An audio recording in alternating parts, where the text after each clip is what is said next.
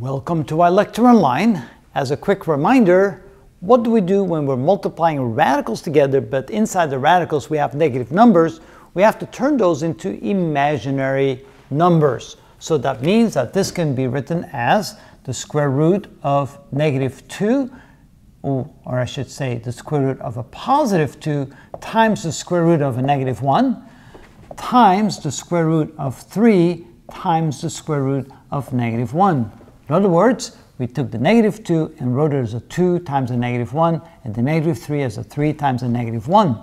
Then we realized that the, by definition, the square root of negative 1, that's equal to i. That means that this can be written as the square root of 2 times i times the square root of 3 times i. And now we're ready to multiply, because now when we multiply, we multiply these two together, that is equal to the square root of 2 times 3, times i times i, which is i squared.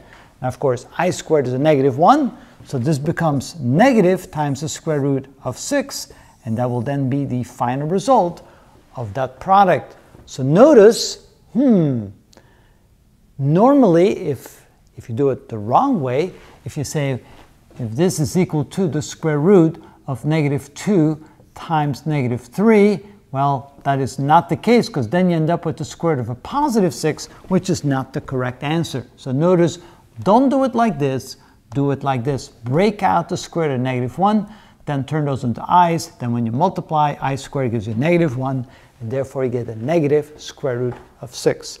And that is how it's done correctly.